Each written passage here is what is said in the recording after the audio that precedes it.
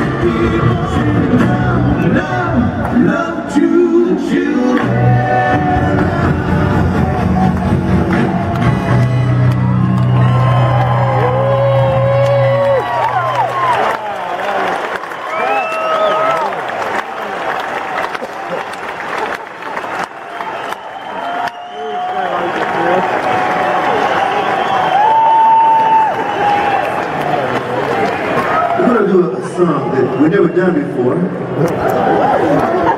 And it's, it's so funky. It's written by a gentleman named Swamp Dogg.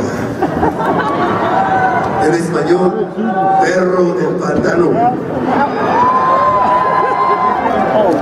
And it is one of those I don't songs chilled, from the 60s. Swamp Dogg. Uh, it, it, it talks about